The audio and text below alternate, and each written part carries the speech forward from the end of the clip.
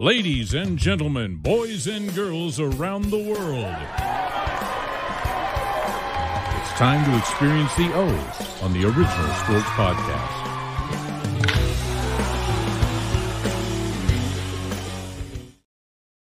Hey, cheers, everybody.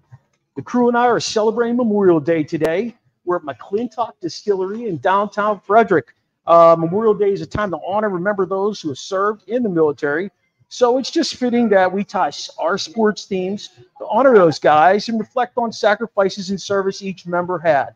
We're going to be doing a bunch of different people. Sis has baseball guys. Sheen has some some football guys, and I'm going to bring you a plethora of a couple of other other sports to tie into this. Uh, we're going to look at it through the lens of sports and whether we're going to celebrate athletes or examine connections that they've had to sports and military service. We're just looking at iconic moments that happen in in sports on Memorial Day weekend. Um, we're going to talk about it all. So um, let's get this thing rolling. Shane, man, you you look a little tired today, my brother. Very tired. Where you been? I was in Cooperstown this weekend. Uh, I went to the Hall of Fame up in Cooperstown, uh, the East West game. It uh, honors uh, black baseball, honors and celebrates black baseball of the past. Um, met a few uh, my idols. Uh, met Dave Winfield. Woo! Big Dave, the only athlete. I don't think he's the only. I did some research on this. I don't think he's the only, but he was drafted by MLB, NBA, NFL, NFL, Yeah. NBA, CBA, ABA. I think he's the only one with five. But the weird part about the NFL is he never played football in high in college. So Right. He went to Minnesota, by the way. He played baseball and Basketball. basketball. yes. But he was drafted by all those. Uh, I met Eddie Murray, who I'm sorry I didn't know has over 500 home runs. Yeah, You didn't know that? No. for the Orioles. Yes, for the Orioles. I didn't know that. I didn't know that. I posted hero. a picture on Facebook and people tore me a new one. But yeah, um, That's all right. CC Sabathia, I met him this weekend. Nice guy, him and his wife Amber. Uh, great people. Uh, I met uh, oh the kid, Ken Griffey Jr. Oh, you met KGJ? Yeah, yeah. Was his dad there? Was his dad there? No, he wasn't. It was just him. He was in and out a lot. I don't think he just. I don't think he wanted to be He's seen. been doing a lot of commercials lately. yeah. Yeah. I mean, yeah? Junior. Oh, He's back involved with baseball. okay. He's Well, back I involved. do know that I do know that Mr. Winfield is some does something for MLB, and I think Mr. Sabathia also. So You said you saw Big Cecil? No, I saw Prince, the, the Prince son. Fielder. Yes, I said yes, but I also seen Prince's son, who's bigger than both of them. He's only a junior. He's going to be a senior next year. But yes, In high school. high school. Yes, Whoa! huge. Bigger than both of them? Yes, yes. No, Big. no football in his career. No football. I asked him no. what he played. He, I said, "You play football?" He said, "Nope, baseball." I didn't want to challenge him. Usually, I say, "Hey, you're a football player." I wasn't telling him that because I, I think he'd have beat me up. Was he I'm thick dead or serious. was he like those Very guys? thick. No, thick. When I, I can't wait to do check him out on some video to see see him hit this ball because it has to be going far. He's huge. That's all I kept saying the whole time I seen him. Huge. So as a junior, next year, senior year, he'll get drafted next year. more than likely, you know where he won't end up? Pittsburgh. Pittsburgh, because he'll be too good to, to end up there, right? I- yeah, You know, they're lucky they got Skenes. He'll end up in uh, Oakland. no, maybe. yeah. You know, they do a lottery now for baseball, Oh, yeah. so he can end up a million different places. You know, at the end of the day, he'll end up with the Yankees or Dodgers. Do you guys They- like that lottery or just, hey, we suck. We should get the number one pick?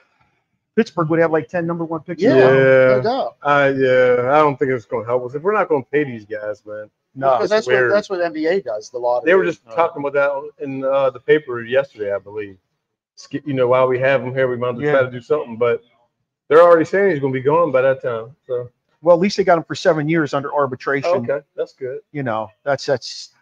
I mean, you got what you got right there under arbitration. Okay. So let's see if they can do something in seven years. I, I guess if if that team would go on and somehow, some way, get super successful for a year or two, win a World Series, then we could Ooh. go back to another another thirty years. I'll Did be you say by then. Pittsburgh and World Series in the same sentence? I did. Yeah, you're reaching. I. Shit. I don't know if our kids. I did. that. You're I reaching. don't know if our kids are going to see that.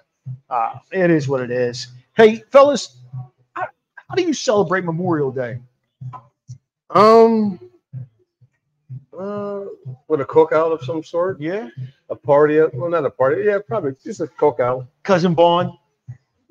He wants to be on the show, by the way. but- Oh, he ain't bringing Vaughn. Vaughn, you ain't coming on the show. You ain't coming on here. You'll be all fired up. Who knows what you'll be saying? He's, he has a motto. He says, "Don't believe in Con, trust Vaughn." When it comes to the Steelers, Was he running for president or something? I love Vaughn. He's Because because they're all cons in we'll let politics. Vaughn be on the show. I'd love to hear what he has to he, say. he he he said, "You guys trust Con, believe in Vaughn." That's Where's he living at now? He's uh Eastern Shore, over, over across close to Ocean City. Okay, we'll put him on virtually so he don't. Oh, him and Chops in the same show. Woo! There you go. Hey, shout out to our boy Chops. Uh, he's fishing this weekend. He's camping. Where Someone he? said he's camping. What, what, like, is he glamping or camping? Did he Oh. hike in? I can't see Chops glamping. Did he hike in? Oh, I don't know about that. Is that Pitch a tent? so? If you hot, you gotta you gotta hike in for it to be camping. yeah, Yeah. glamp, glamping. just pull up. No, that's, gla- that's glamping. You just pull up right there. Your car's there. So anytime you want to leave, you can leave. Listen, Yeah. I don't see Chops doing that, but I also don't see. I could see Chops in a tent. I can see Chops sleeping on an air mattress. That's glamping too, right? Yeah, I get. I don't know. I Yeah, because you can't carry that in the woods. I'd That's like too to see. I'd like to see Chops go live with a bear. That'd be interesting to see. I bet Chops would win that one. A little deliverance. Yeah. Oh, nah, I ain't, I'm down, not down with that. we might have West Virginia folk who watch the show, so you better step back. hey, if you had, if you had the ability to invite like uh, celebrity or you know professional athlete, past or present, who who would you invite to your Memorial Day picnic? Clemente. You'd invite Clemente, I mean, Bobby C. he's bringing all the food. Let me think. that was bad. You hear what he said? No.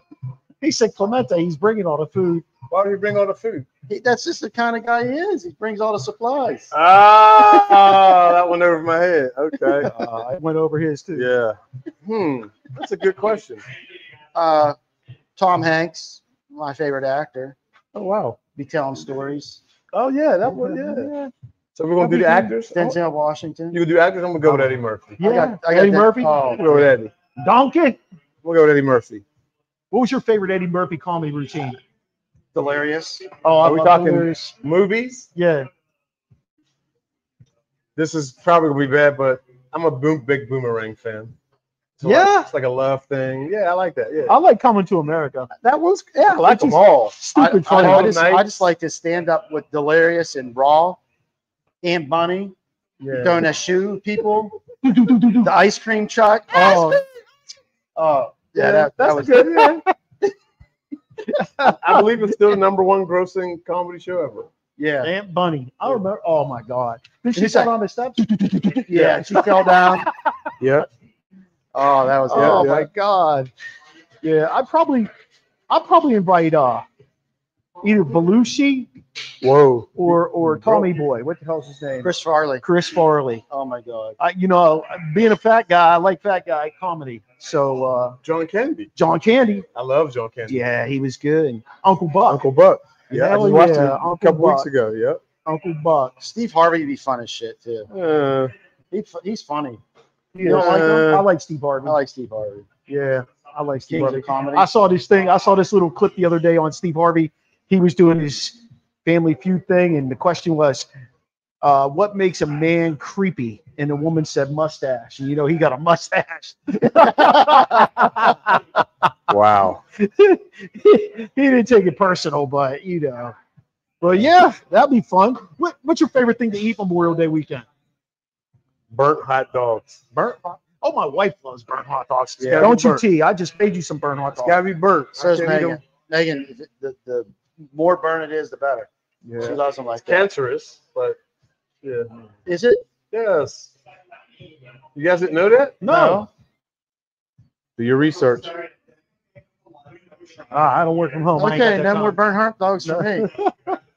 you Uh, know what I like? I like either ribs or chicken on a grill. Yeah. Um, I love going to the picnics and getting like the potato salad, the macaroni salad. Yuck.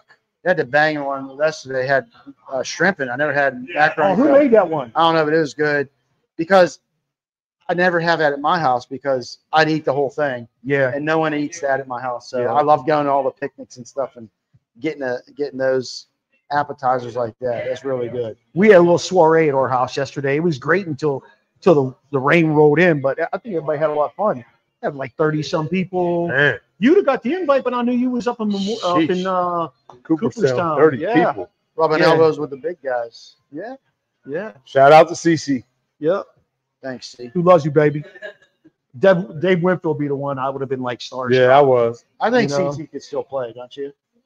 Yeah. He actually bat. He hit yesterday. He didn't pitch. Oh, really? He was. He he he, he had a single, Yeah. and then yeah, he had a single. Yeah, yeah. He had a hit. CC. Hey, what what game do you like to play? Like when you have a family family soiree or you go to a picnic? Cornhead. Cornhole. Cornhole. I like playing jarts, Yeah. yard darts, where The you got those Lawn darts. long things and you just. choo. So how many points did you get for getting it in? It's almost like playing cornhole. Okay. Yeah. What's uh did you guys ever play ladder ball? No. What the that? So you got like two golf balls at the end of a rope, On a string. Yeah. Oh, I see and then it. you and then you toss it, Uh-huh. and there's like three tiers. Uh-huh. One, two, three. And if you get it on the bottom, it's three points. Two, one. It- it's just something to play. It's pretty cool. Is it? Yeah, I I, I made a set. You did? Yeah, out of out of uh, PVC pipe. Would you drill through this, the golf ball? Yeah, made Oh. it. Wow. Yeah, it's pretty cool. That's impressive as hell. Yeah. Who knew you were handy? Huh? Who knew you were handy? His wife. Jack. Jack Andy. Hey, you guys watch any sports for Memorial Day weekend? You got car racing, Formula No. One, No. NASCAR, the No. Indy 500's on tomorrow, No. right? Or is it on today? Today. I think it's on today. Else is Yeah. That's the only options I have. That's that's that's you know, I mean baseball's on today. The traditional stuff. Yeah. Yeah. Basketball. A lot going on Basketball, basketball right hockey. now. Yeah, we got. Who's who's gonna shine at the end of the day? Who's gonna play for the for the chip? I think the Mavs and Celtics. the Celtics. Yeah. That'll be a good series though, right? Yeah. Luka? I, I like the parity in NBA right now. Actually, I do. Playoff parity. Yeah. Okay. There's, there's, you know, You didn't like it during the regular season? nah, it's boring as hell. All right. just got different teams in there. I got you. I got I think one of the things they could do with all these sports is cut down the amount of teams that make the playoffs.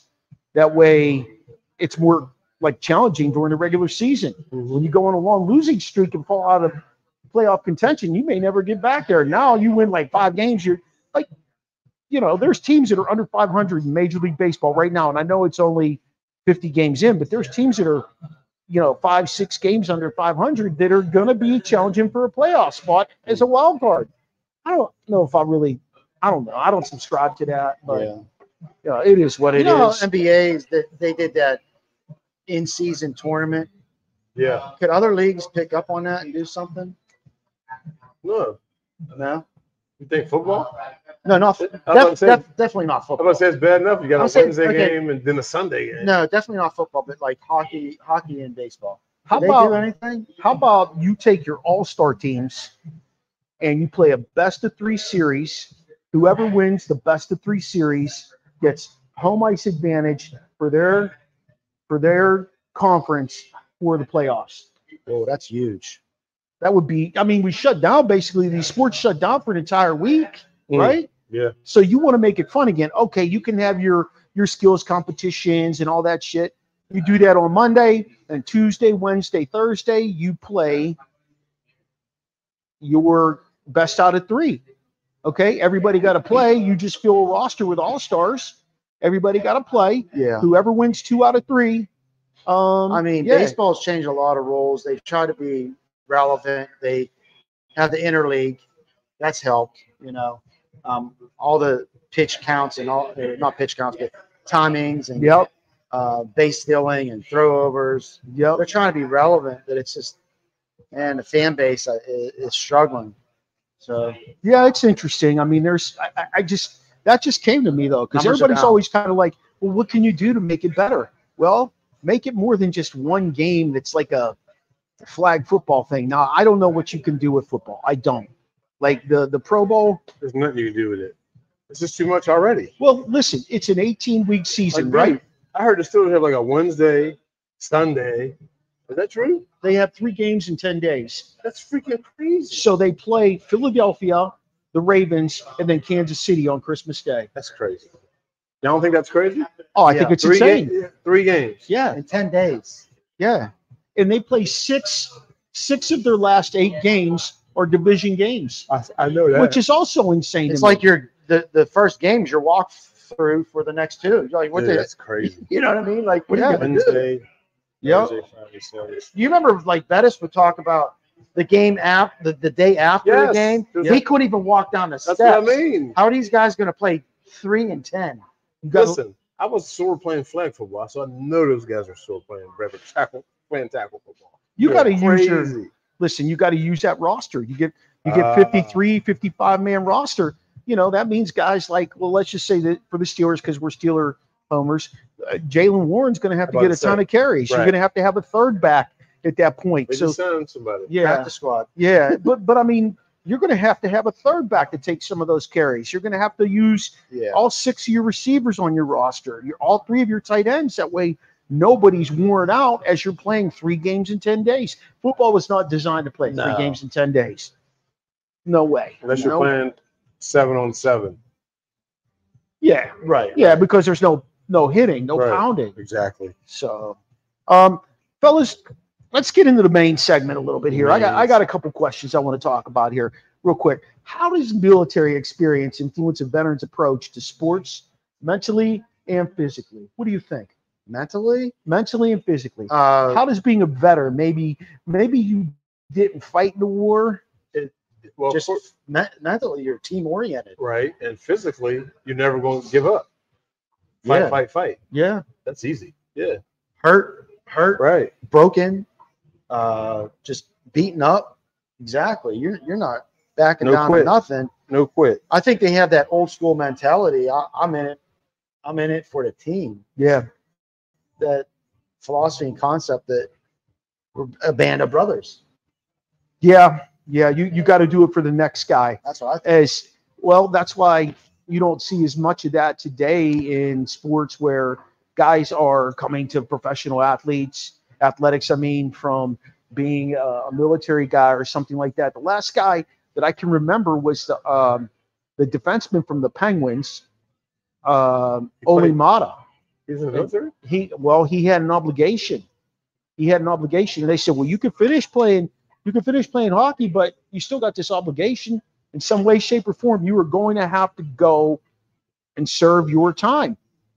You know, um, I was thinking Vill- Villanueva. yeah, yeah, he's he's a good one. Uh, You got the football guy. Read read a little bit about Al Villanueva. Alejandro Villanueva had a remarkable career, bridges his service as a U.S. Army Ranger and his role as an offensive tackle in the NFL. After he graduated from West Point, he served three tours in Afghanistan, earning a Bronze Star for his valor.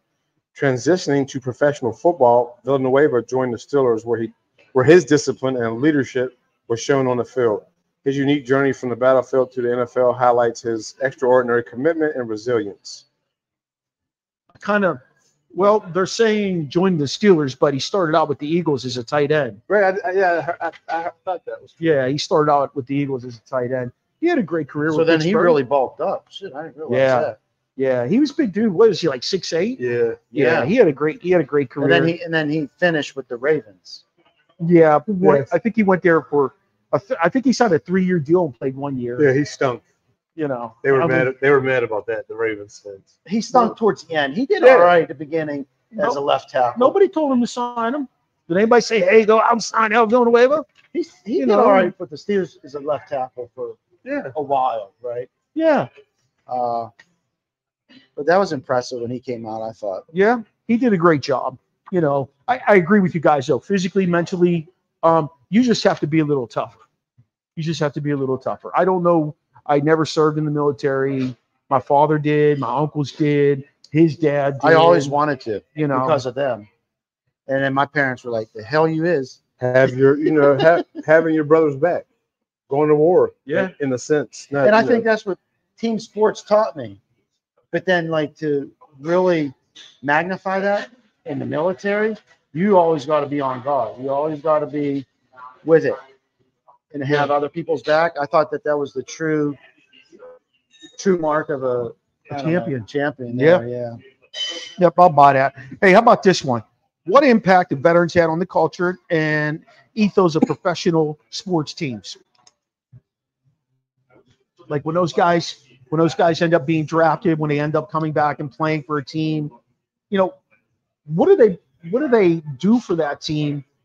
I, I know we talked about the physical and mental approach. We talk about the camaraderie they bring bring So was- back. That's what I was going to say. I was gonna, you know, what I think is the discipline. What I think is the discipline. You know, Okay. even even though we even though we talk about the discipline of athletes today, um, I think you still had that stuff back in the day. You heard about how guys like Babe Ruth used to go out and get drunk and eat hot dogs and go to the ballpark.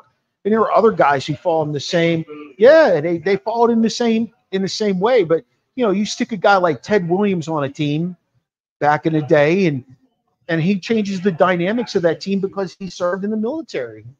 You're right. You know, And brought everything that he learned from the military to the football team. Well, baseball team in that sense. yeah, a Yeah. splendid splinter. He was an amazing baseball player.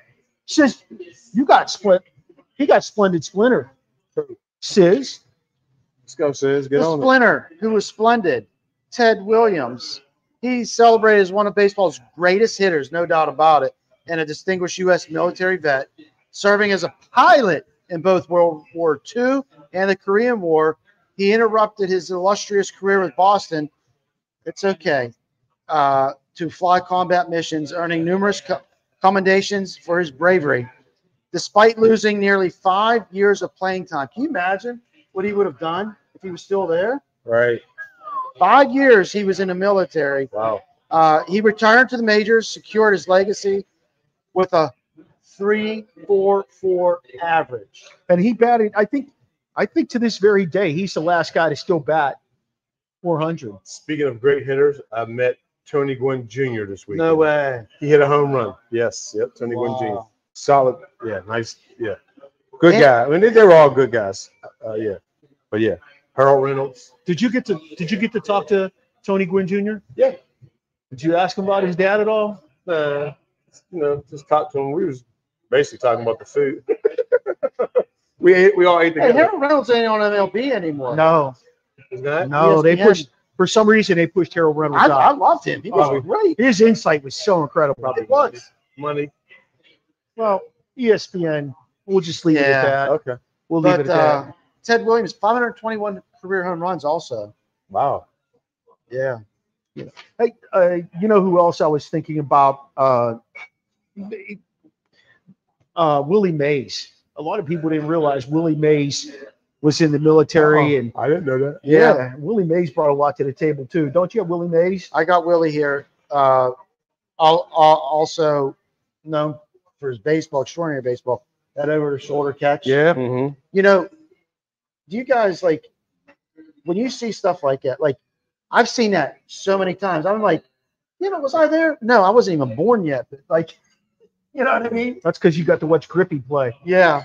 Um, but also, he was an Army soldier, enlisted during the peak of his early career. May served in the Army from 52 to 53, so two years, missing significant playing time. Uh, he returned to baseball, became one of the greatest players, as we know, of all time. Uh, known for around all around skills, hitting, fielding, base running, which I don't think he gets recognition for No, as much as he does the others. Um, his military service exemplified his dedication, resilience to his teams uh, I looked this up. on and off the field. I think he was one of the greatest five-tool athletes ever.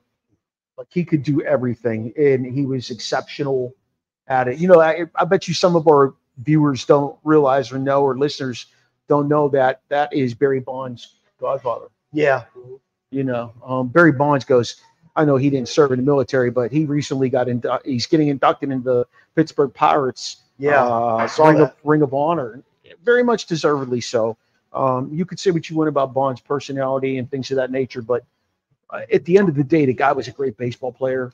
You know, a lot of people want to cry about the the steroid stuff, but you know, he still had to get up there and swing a bat and hit the ball, right? Yeah, and because the guys on the mound are probably doing the exact same thing, and so that made it pretty even. Yeah, yeah. We know we know that they say Clemens was one of those guys. things like even, but But, it was. yeah. who knows? Who knows? We weren't there. Who knows? Wait, Um, time out. Five tool. Tell everybody what five tools are. uh, five tool. He, he hit on it. Uh, speed, um, accuracy, hitting ability, fielding ability. Um, hitting. Did you say hitting? I think I said hitting Base running. and base running. Yep. Yep. My uncle Pete was five tool. Was he five tool? Yes, he was. Yeah, that's that's quite a remarkable I don't thing. even got five tools in the basement. Um, I, I think that uh, Griffey was a five tool because he could hit for power. Mays Mhm. could hit for power. You know, those guys, the power, Oh, it's fielding, throwing, fielding, and fielding, throwing. throwing. Yeah, my bad, my bad. They separated those. Griff, Griffey's been eating. Was he Oh. looking a little thick? Yeah, yeah, yeah. You could tell. Yeah, he's It's been, okay. He don't got to play anymore.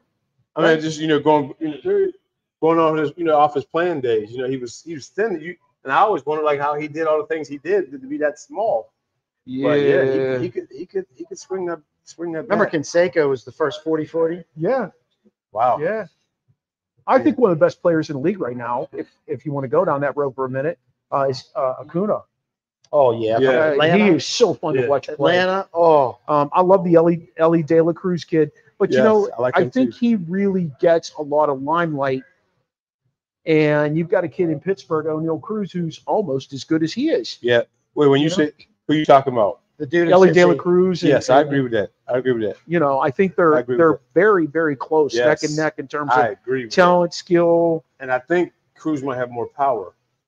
Oh, he definitely does. He, yeah, his exit velocity is insane. Yeah, I agree with that. Yeah, uh, Cruz hit two doubles. I think it was two doubles this past week. Uh, 120 miles an hour Yeah. inside the park. He hit it 120 miles an hour. That Wow. to get in front of that. All Yeah. right, I'll let the outfielder get that one. Yeah. It's just crazy. It's crazy. Some of these guys. So uh, let, let's go back to that question. Skills or qualities veterans often bring to professional sports. Let's just talk about uh, skills they bring to professional sports that sets them apart from other guys that are already there. I think they're detail oriented. You need to know Right. not just the X's and O's, but everything that goes involved into it prior to uh, setting up, you know, before the game, uh, paying attention to those details throughout the game, and maintaining that consistency mentally Yeah. because you're going to have highs and lows. Someone's going to score. You're going to strike out. Yep. You're going to give up a touchdown, a sack, whatever. You you have to, but but it's in those details, and you always see the guys on the sidelines with the with the um, iPads and and and watching the monitors and the dugout and whatnot. But they're constantly studying that game, the details, attention to detail. To me, is probably one of the biggest things that they bring to the game. I, I'm going to talk about Arnold Palmer for a second. Arnold Palmer, known as the king of golf, uh, uh, celebrated both of his illustrious career in professional golf and served in the Coast Guard. Wow. He was in the Coast Guard. I bet you a ton Uncle of people didn't know that. Uh, before becoming a household name in the world of golf, Palmer enlisted in the Coast Guard in 1951, where he served for three years and honed his discipline and resilience. Talk about bringing something to the table. Uh, his military service provided him with a strong foundation that contributed to his success on the PGA Tour, where he won seven major championships and became a beloved figure in the sport. Um, his personality was off the chain, and he pioneered golf. He was one of those people who popularized golf because of that. Um, he made it accessible to a bigger audience, is what he did. You know, anybody felt like they could go out and play the game after watching Yeah. watching Arnold Palmer play. Mm. Uh, his legacy endures uh, not only through his contributions to golf, but you know his example of service and sportsmanship. So Also, the best drink at uh, The Arnold Palmer. Arnold Palmer. Arnold, yes. Arnold Palmer. half tea, half Yes. lemonade, Ooh, and the from, base. The base. from got- Latrobe. And we know what goes on in Latrobe. the base has to be lemonade. More more lemonade than tea. Yeah. Yeah. Okay. Yeah. Yeah. Hey, another shout out to McClintock Distillery in Frederick, Maryland Yes. for uh, letting us come in and do our show today. We're very honored and proud to be in here. It's a, it's a great place. If you're ever in Frederick, if you live in Frederick, if you're close to Frederick, if you're just hanging out and want to do something, come and check out McClintock's. They have uh, uh, a tour of their distillery. They have uh, a bunch of different great drinks they make, seasonal drinks, and just you know, like we're drinking. I'm drinking some gin right now. It's probably probably the best gin you'll ever have. I mean, it's just so smooth, and you know, I, I can't say enough good about it. Yeah, they said it was silky smooth like Mark's underwear. it's it's Let's pause. it's really really really nice. That's only Thank you, McClintock.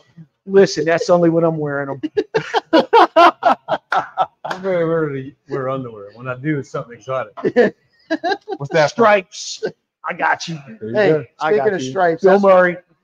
besides my parent, besides my my dad, my aunt- my grandfathers, both of them, and my uncles and all that, uh, stripes made me want to go to the military. It's like, man, these guys can do. I can do it. They're having fun. I want to join that.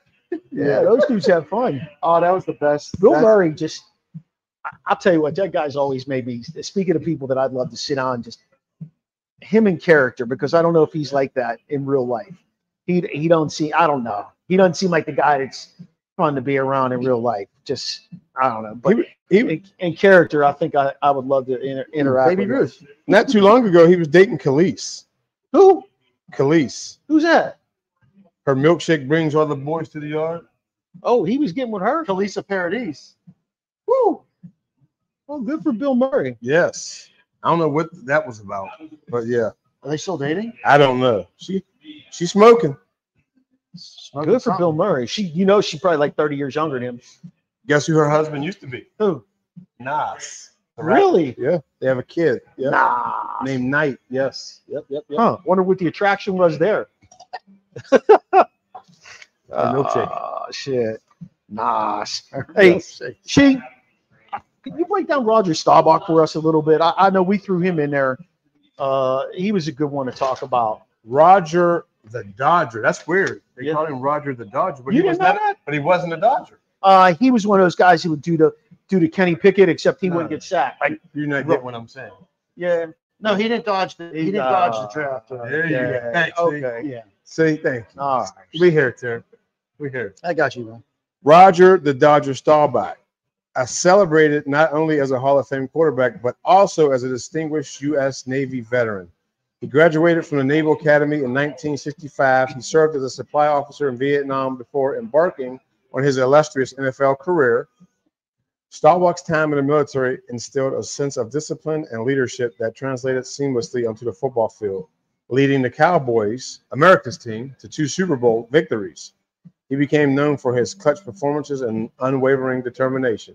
Beyond his athletic achievements, Staubach's commitment to service and teamwork remains a defining defining aspect of his legacy. I was definitely going to say dedication because listen, if you're dedicated to serving this, serving to protect this country, I mean, what else is better than that? No, I mean, that's putting your life on the line for a bunch of people you don't even know who don't care.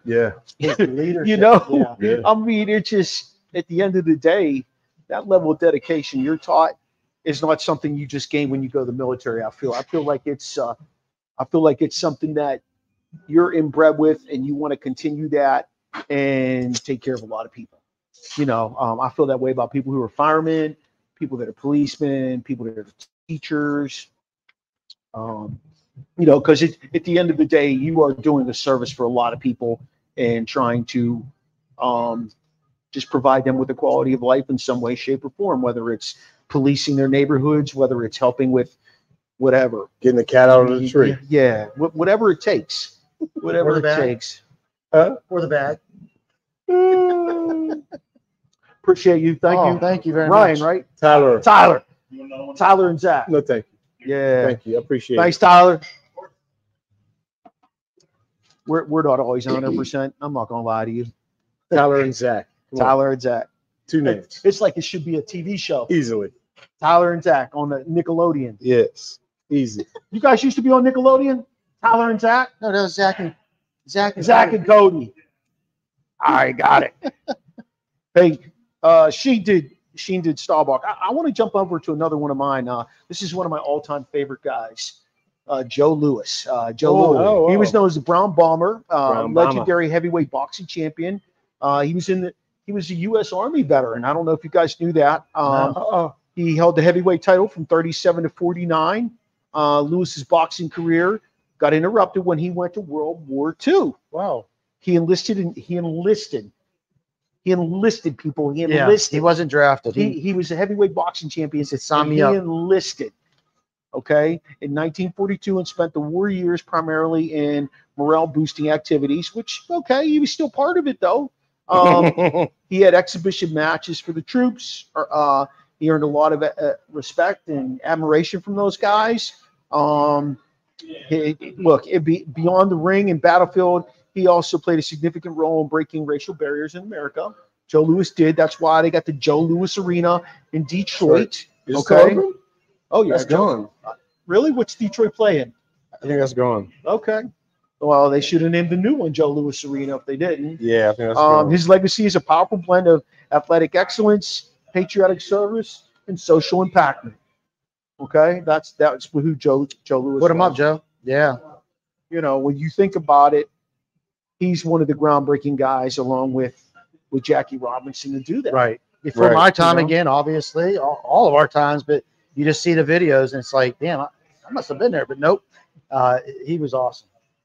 Joe Louis Arena closed in 2017. It was demolished in 2020. There you That's go. too bad. Yeah. That's too bad. I did not realize that. I thought they they kept that around for stuff. It's now called the Little Caesars Arena. Oh, that's right. Because the guy who owns Little Caesars owns Detroit Red Wings, Detroit Tigers, but not the Lions. The Lions are owned by a different family. Well, damn Little Caesars. You used to be able to roll right up in there and get a five dollar pizza. Now it's like over five dollars, and you're waiting forever. They not only that, but they, they don't. They're not hot and ready anymore. They, they, they don't. There's no Kmart's anymore where you can go get it in a Frickin' Kmart. K- Wait, wait, Yeah. wait. So Little Caesars is not that good? It's not that hot fast anymore? No, you gotta like go up Is order it it. five bucks? No, it's like seven. Yeah, it's like more than five. I didn't never thought it was good pizza, but Man, you might as well go Belisario's. oh, Shout out to Nikki. I would- yes. oh, I would do that way over. Pepperoni, Caesars. sausage, banana pepper. Ooh, that sounds I good. think I'm Oh, get- we're gonna get one right after this.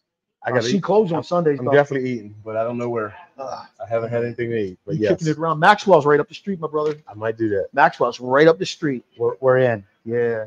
All right, who we got next? All right, let's look at who we can talk about next. Muhammad Ali.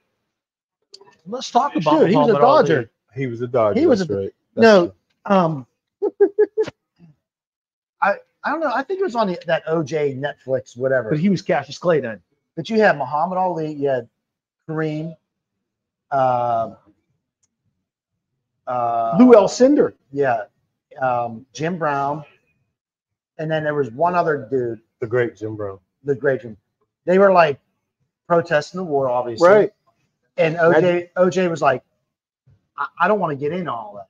I know we're going down the rabbit hole, but he's like, he was worried about his image and all that. They like OJ. And So they, they- yeah, they were just like, Jim Brown didn't have Okay. OJ. forget it. That's weird because Jim Brown did the same. So that's weird, but okay. Yeah. That's a, okay. Did you see the bloody glove when you came through the door here? No. The glove don't fit. You must have quit. Yes. Stop that shit. Oh man.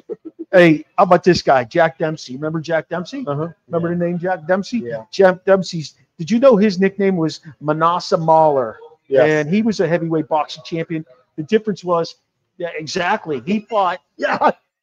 He was World was War like- One. Nintendo or He was a. World War One veteran. Uh, he rose to fame in the 1920s. He held the title from 1919, 1926.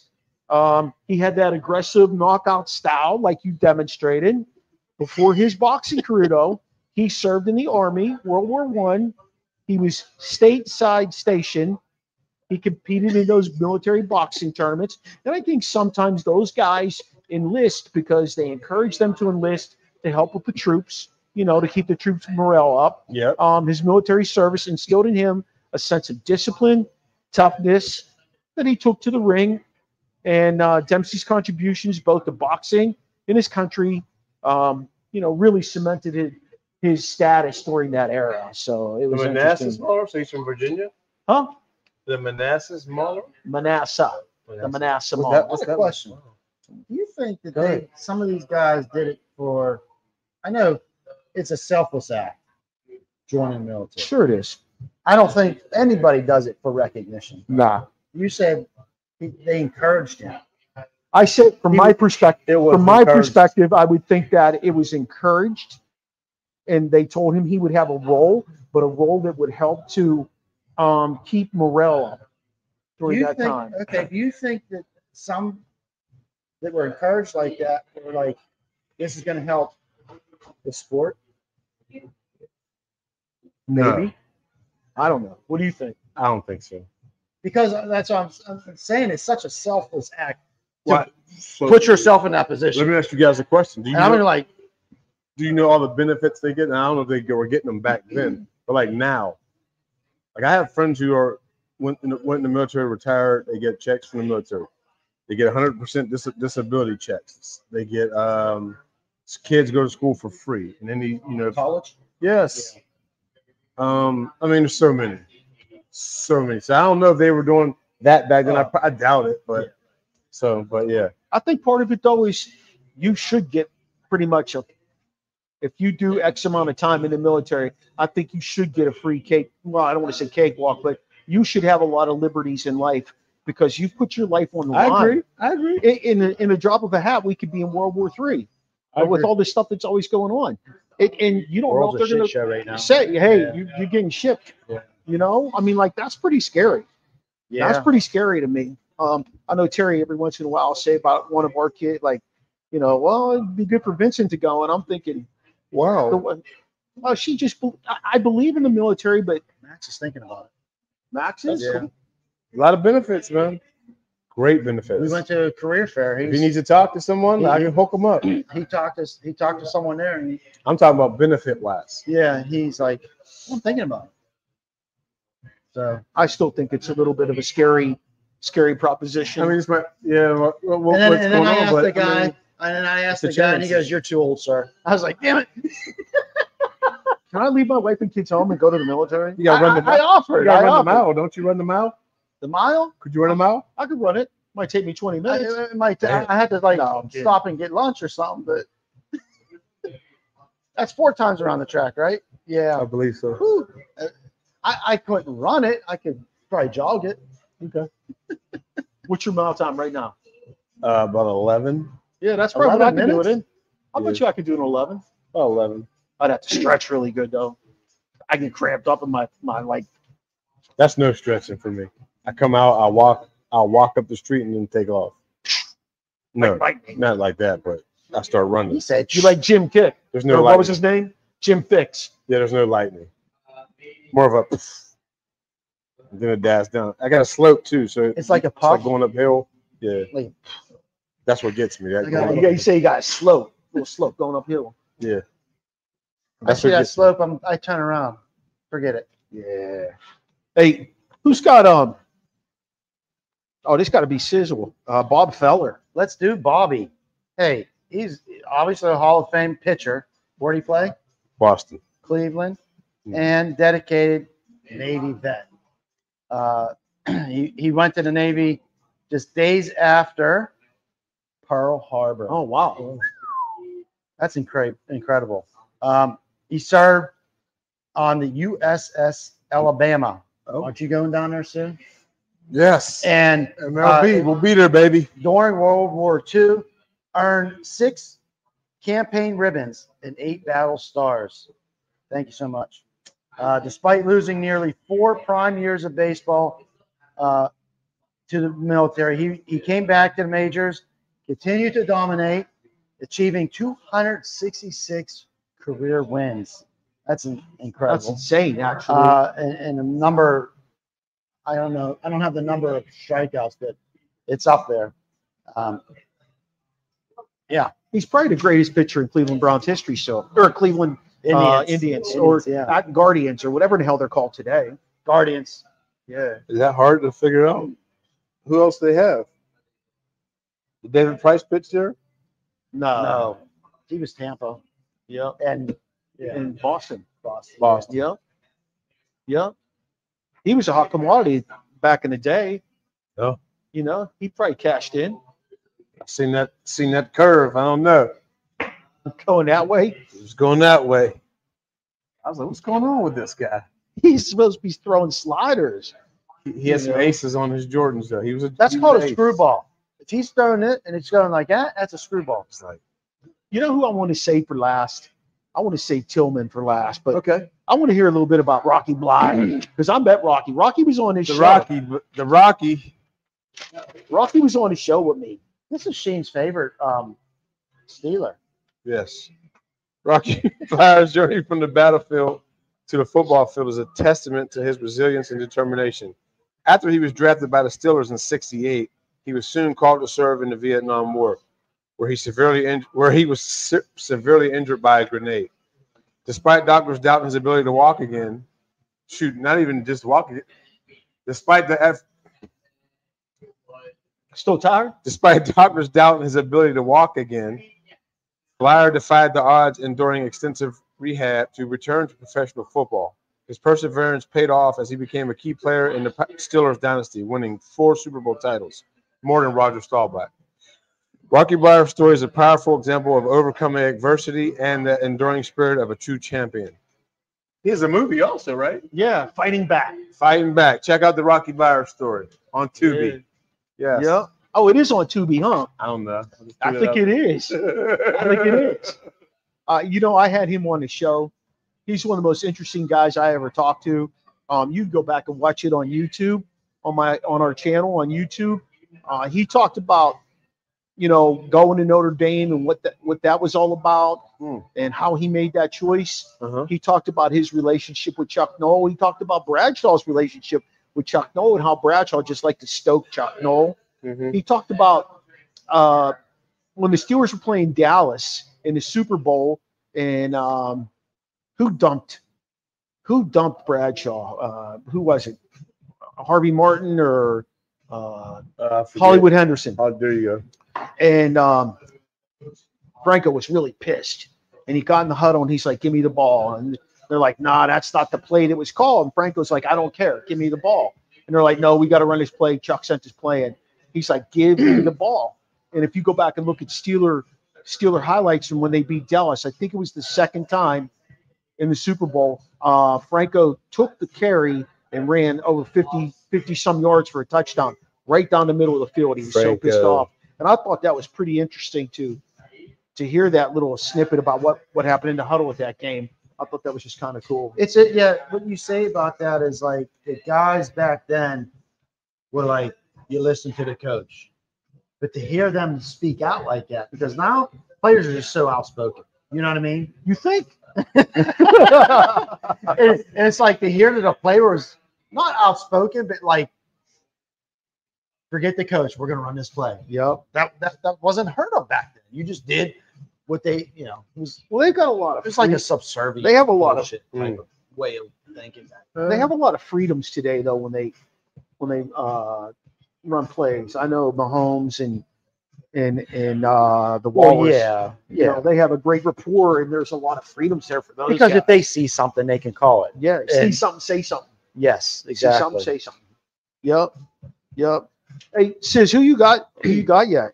Well, the last Yogi Berra. I got two guys. Oh, No, I'm sorry, I only got one. you got Yogi Berra. Yogi.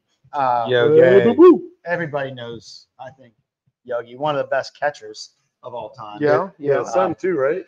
yeah. it's Del Dale. Berra, You know where he played? one of the best sniffers. Third base. Third base for the Buccos. Was he any good? I don't remember. No, No, terrible. No, it was terrible. Terrible. I think he played with Frank Taveras. They didn't win a Super. They didn't win a World Series. No, he All right. wasn't on that team. All right. But uh, he was terrible. Phil Garner was the third baseman on that team. and then John John something. Uh, but he was he he was a World War II vet, and before he played for the Yankees, he won. Uh, yeah, he he won ten World Series championships. Uh, he started before he won those. He was in the Navy. Took part in D, the D-Day invasion That's pretty wild. Man, I walked the beaches at Normandy. You were there. Right? I haven't been in Normandy. You haven't been to Normandy? No. That, that's that's pretty intense. I, I've been there, seen some of the bunkers and whatnot. Mhm. It's wild. And to think that they could have avoided some of that stuff, uh, but they they divided. You know, they kind of flanked them, and, and the Germans were waiting for them up on the hills and just Pounced on yeah, it. yeah. And uh, but anyway, his, military service exemplified his bravery, commitment, qualities that he carried on the baseball field. Known for his exceptional skills as catcher and his memorable yogiisms. What's your favorite yogiism? I, I got one. All right. Uh, and I think I think it was a female interviewer, but beside the point, she said, "Yogi, you look really cool today." He goes, "Oh yeah, you don't look so hot yourself." He was so He was such a so character. different. He, He was, was so character. different than his son. Yeah, Like Del, Del Berra is he had zero personality. but this guy, I You mean, know, he's just He he was- unfortunately was a pirate and he was not a very good one. But can you imagine ten World Series champs? Well, yeah. And I, to me, because I, I, I, play, I was a catcher, I coach catchers, and just I, that's the to me that's the heart of the team. that's the quarterback. That that's the quarterback. That's the only position that's seeing. You know, you're seeing everything. You're yeah. uh, That's the quarterback of the team right there, the catcher. so You know, whether you want to realize team. that or appreciate it or acknowledge it, that's up to you. But I will tell you that's that's where it was. Uh, my last guy is David Robinson, the Admiral. The Admiral. Um, David Robinson, widely known as the Admiral, is renowned for his remarkable career as a professional basketball player and his service as a U.S. Navy officer. Um, Oh, graduating officer. from the U.S. Naval Academy in '87, Robinson fulfilled his military commitment. Then he went to the NBA. He played for the San Antonio Spurs, um, two NBA championships, and he's in the NBA Hall of Fame, Yeah. which is not unheard of because he Hmm. was so great. He was a great leader, skills, dedication. Um, he honed, he felt like he honed his skills and things like that on the basketball court while he was at the Navy because he was always a smart guy. But like he went in there, I don't know how great he felt he was, but he really improved his skills while he was in the Navy. Um, he became a dominant center. He was part of that Olajuwon, uh, all those guys. Pat Ewing. Yeah, yeah. Um, beyond his athletic achievements, Robinson's commitment to service is evident through his continued philanthrop- philanthropic efforts, uh, making him a role model both on and off the court. If Navy is ever doing something, or the Spurs are ever doing something, they always call on him, and he's always he's always there. He's always involved. I thought it was interesting whenever they transitioned from him to Duncan, They play together. and it was seamless. Toward Yeah. the end, yeah, they played towards the together. End. But like it was seamless, and there was no like, like, like bitter rivalry or you know, you know what I mean. Like Yeah. when they start phasing out, I mean, they start phasing you out, it's like, let this guy figure it out himself. It felt like he was a, a mentor, and he took Duncan under his wing and he helped him along because he knew Duncan was in a Hall, Hall of Famer also. I mean, Yeah. like, this guy. Don't you feel like that He was thinking at the end. At the very end? He was bad. At the very end, but don't you feel like that San Antonio Spurs generate like it was like a ten year run Yeah, that they won like four championships, they they were two with J, dominant. uh, Robinson, two with with uh, Duncan. Don't you feel like they kind of, I don't know, they kind of were underlooked as far as NBA lures? Yeah, probably because they were too uh, clean cut. Uh, yeah. Well, you had Robinson. You had uh Duncan with the bad hairline. No, you had Who's cutting? Rodman was there. Oh, Rick's they brought Rodman in. Oh, that's right. I forgot about that. I don't remember that. I do. Towards At the the end? end. Yeah, At the end. he was with the his career. Pistons. Then he went to the Bulls, and then the Spurs, Yeah. Then the Lakers. and then the Lakers. Yeah, yeah I remember him at the Spurs. I don't. Wow. I do. yeah. He won two championships. oh, I with- do. No, I do. I do. I do. He won those championships with Duncan. I do. He might. He might. What's he got? Like five or six? At least. Rodman? Horry, Horry has the most. Yeah. Bobby Horry. What's he got? Seven. He had him with Houston. he Something had him like with the. Lakers. He had him with anybody else? Houston, Lakers. I can't think of him with anybody else. Yeah. Anyway, Yeah. Um, she, who's your last guy? My last guy is Mr. Pat. Pat, Tillman. Yeah, one of my Probably the most all-time recent- favorite. One of the most recent ones. One of my all-time favorite athletes. Pat Tillman is remembered as both a courageous NFL player and a patriot. Patriarch? Patriotic U.S. Army Ranger. Sorry. The man is tired. Weekend hangover, yes. No alcohol either. After establishing, establishing himself as a star safety for the Arizona Cardinals, he made the extraordinary decision to leave his football career and enlist in the military following the September 11 attacks. Tillman served with distinction in Afghanistan, embodying selflessness and dedication to his country. His tra- tragic death in 2004 highlighted the profound sacrifices made by service members and under, underscored his legacy of bravery and honor. Huh? Sorry. What are y'all talking about? I'm done. Oh, no, it says can't update Chrome. That's all right. I guess. yeah, Come doesn't on. matter. Did you? I just saw that they're still investigating what happened. Well, Wow. because they they don't think it was friendly fire. Exactly. They don't hmm. think it was. They don't think Oh. it was friendly fire. So you think you They think it was a setup. Oh. Yeah. like Rambo, like a coup? Yeah. Yep. Which is sad. Serious? Yeah. This Why? guy. I've read a lot of shit about Why? that. I don't know. Which is sad. The mom. The mom. Mom's still like pursuing it. They didn't want him dead. Like they wanted him dead. Like who would want him dead? I don't get it. He not, he might have known some stuff that we probably shouldn't know. Oh wow. So it's like a movie. Yeah. Chuck Yeah. Norris. What was I- the Chuck Norris movie they were looking for him? Almost every Chuck Norris movie. They was always looking for Chuck. I just watched it recently. Chuck and Duck.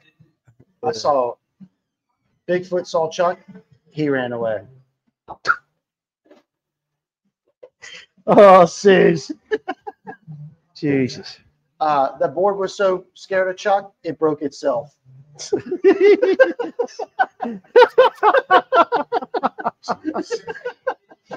Oh my God. Yeah. Oh my lord.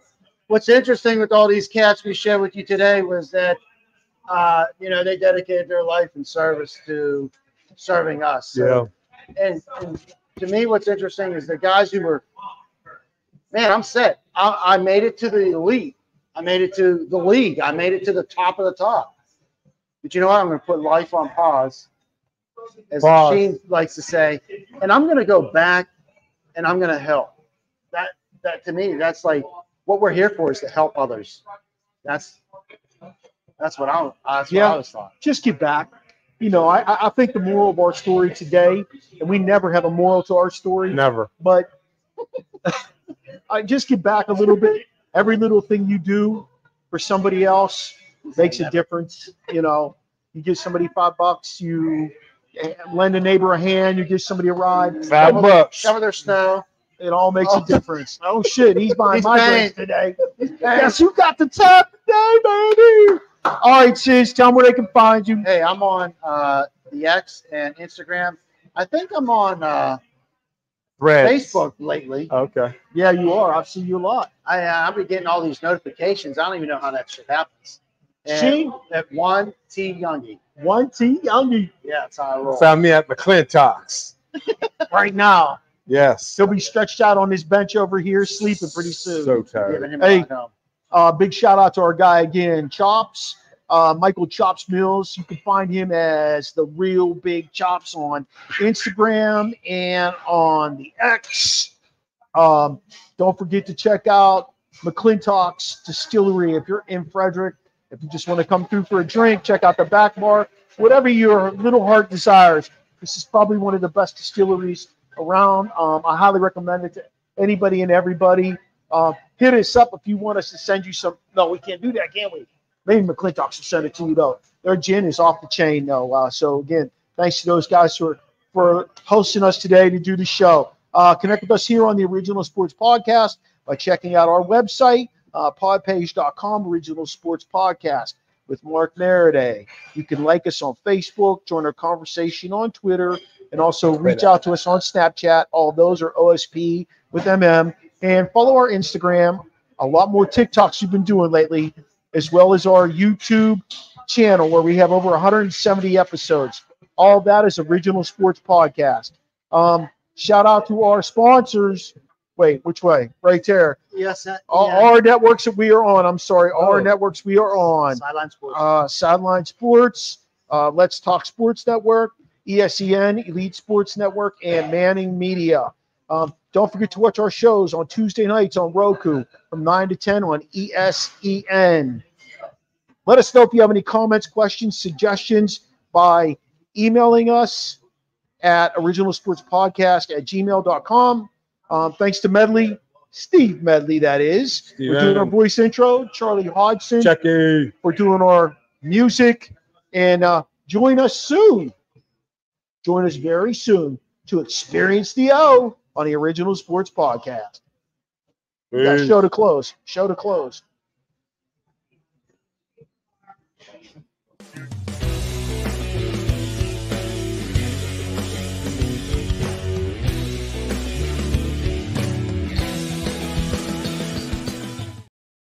I am struggling. Where? Oh, Oh. Oh my lord.